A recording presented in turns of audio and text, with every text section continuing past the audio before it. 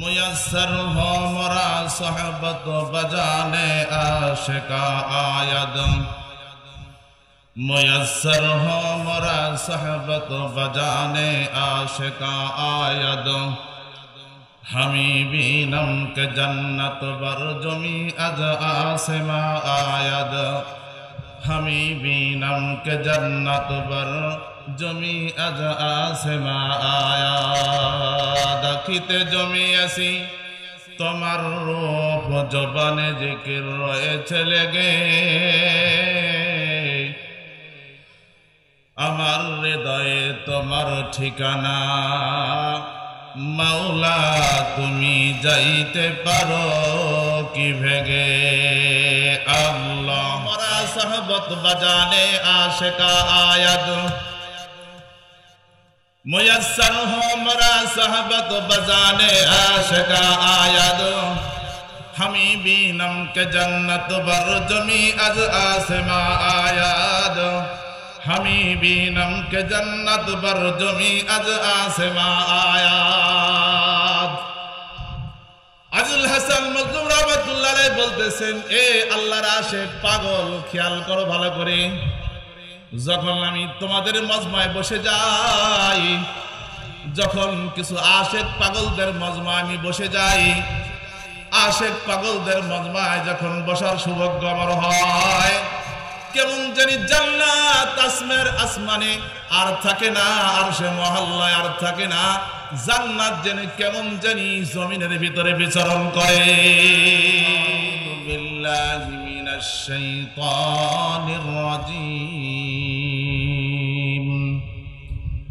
بسم الله الرحمن الرحيم.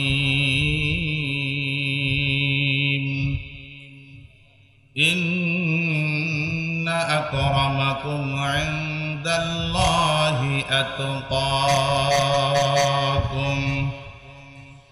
صدق الله المولانا العظيم.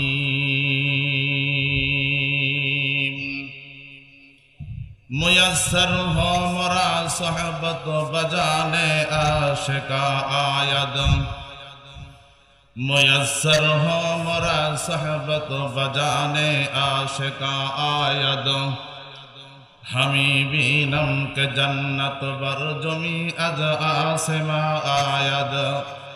হামিবিনম কে জন্নত বর জমি আজ আসমা আয়াদ। খিতে জমি আসি, তোমার রূপ জবানে জিকির রয়েছে লেগে। আমার হৃদয়ে তোমার ঠিকানা মাওলা, তুমি যাইতে পারো কি ভেগে? আল্লাহ আল্লাহ আল্লাহ আল্লাহ আল্লাহ আল্লাহ।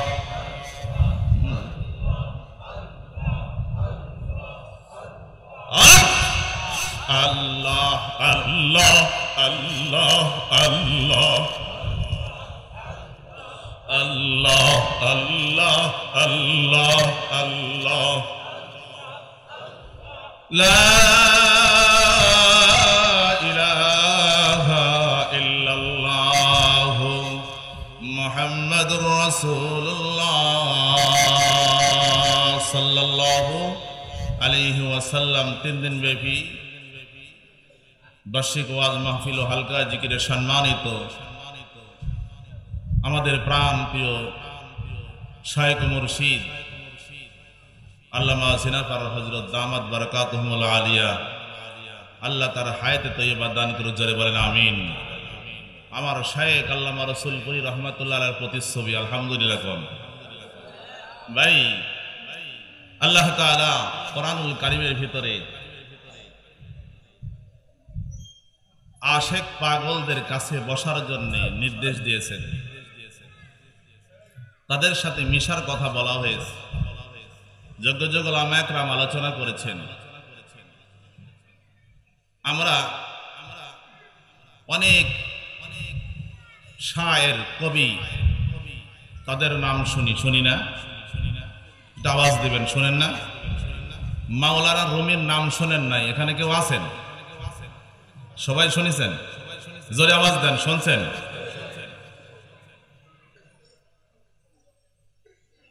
শেখ সাদি রহমতুল্লাহ আলাই নাম শুনছেন?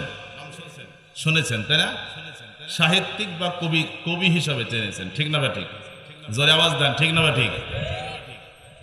ওলামায়া কারাম কোরআনুল কারিম পরে কোরআনুল কারিমের সংক্ষিপ্ত তর্জমা হলো মসনবী শরীফ, মৌলানা রবি রহমতুল্লাহ মসনবী, জোরে কন সুবাহান আল্লাহ ব্যাখ্যা, বিশ্লেষণ বোঝার জন্য সহজ।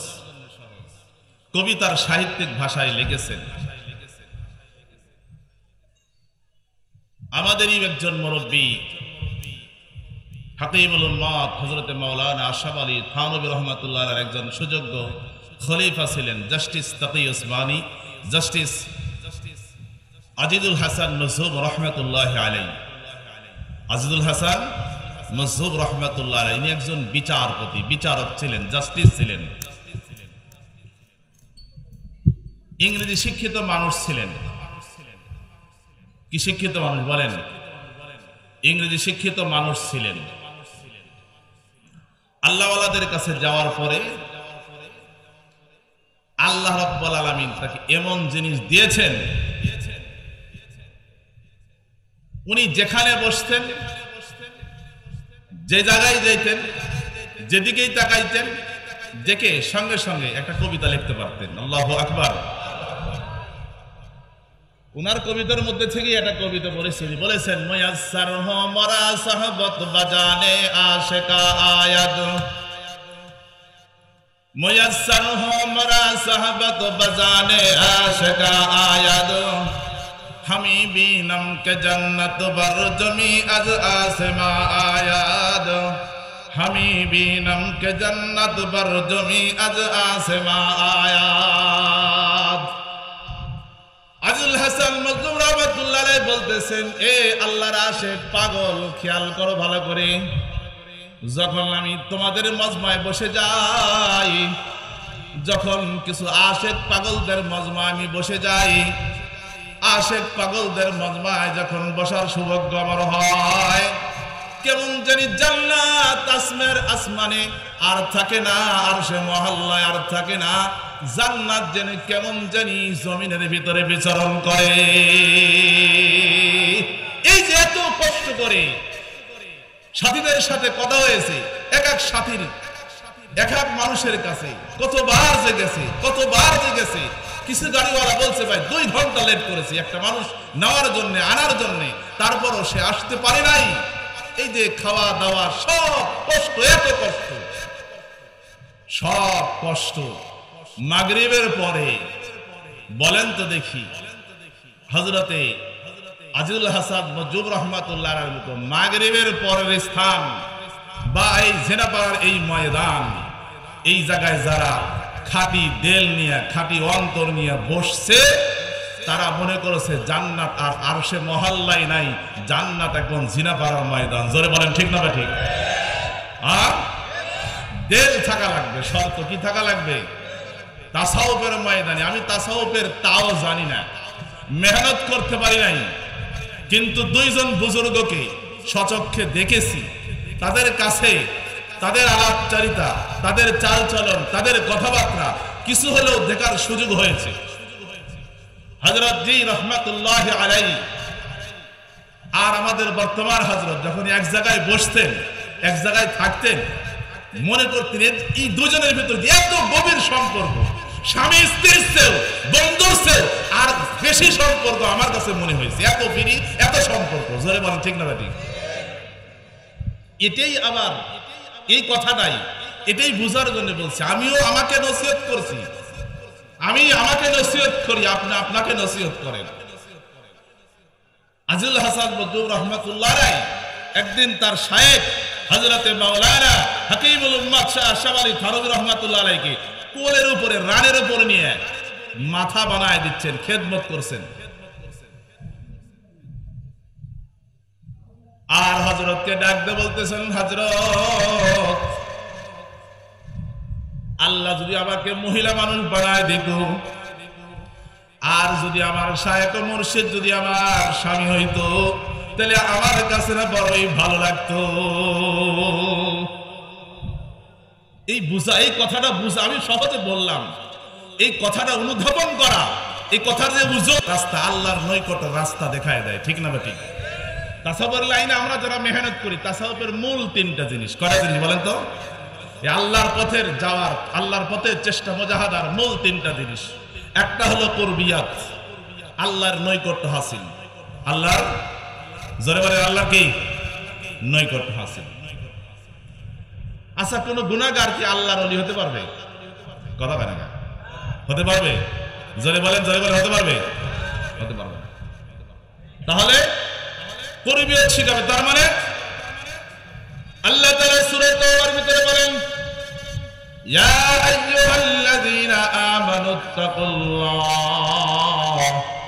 ওয়া কুনু মা'আস এ আমার ইমানদার বান্দা বান্দিগণ, তুমি আমি আল্লাহকে ভয় করো। আর এই ভয় এমনি এমনি আসবে না। ভয় তোমার দিলের ভিতরে এমনি এমনি আসবে না।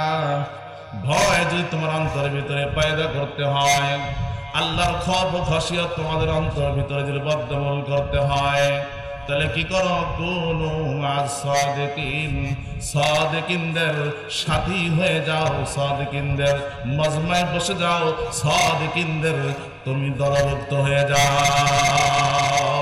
সাদেকিনদের সরেশ পর্যায়ে চলে যাও। সাদেকিনদের সরেশ পর্যায়ে যখন যাবে, যাওয়ার পরে আল্লাহ রাব্বুল আলামিন বলেন, তাদের ওসিলায় আল্লাহ তাআলা আমার অন্তরের ভিতরে, বান্দার অন্তরের ভিতরে আল্লাহর ভয় ঢুকায় দিবে। বান্দা যখন আল্লাহর ভয় বান্দার অন্তরের ভিতরে ঢুকবে, ঢুকার সঙ্গে সঙ্গে বান্দা সমস্ত গুণাকে ত্যাগ করে দেবে। আর গুণা যখন ত্যাগ হয়ে যাবে গুণা যখন বর্জন হয়ে যাবে, আল্লাহ রাব্বুল আলামিন এইবার কুরবিয়ত থেকে মাইয়াত হাসিল হয়ে যাবে আল্লাহ রাব্বুল আলামিনকে অনুধাবন করতে পারবেন আল্লাহ আল্লাহু হাজিরি আল্লাহু নাদিরি আল্লাহু মাই ونحن أقرب إليه من حبل الوريد যখন বান্দা তার কল্পনায় জল্পনায় দিয়ে বুঝবে যে আল্লাহ আমার শাহর থেকেও নিকটে এই বান্দার দ্বারা কোনো গুণা হবে না। গুণা হবে না। এই মায়াত হাসিল হবে। আল্লাহকে কাছে বুঝবে, আল্লাহকে কাছে পাবে। পাওয়ার পরেই একটা জিনিস তার অনুধাবন হবে। অনেক সাহিত্যিক, অনেক কবি তার কবিতার আঙ্গিকে লিখেছেন। আমার শেখ আল্লামা রসুলপুরি রহমাতুল্লাহ আলাইহি ছিলেন।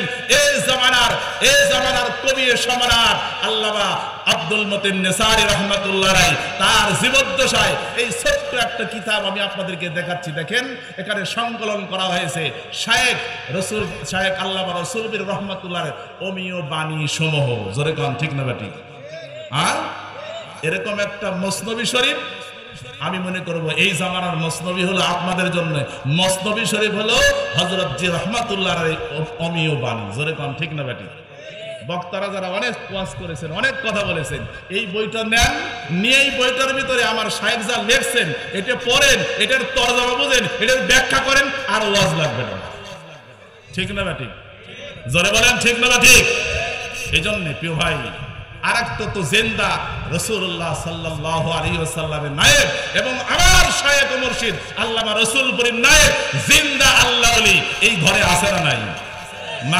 দর্শন হবে ইনশা আরে ধরে বলে আজকে শেষ দিন খেলা একটা বলে ঠিক আরে ধরে ইনশাল্লাহ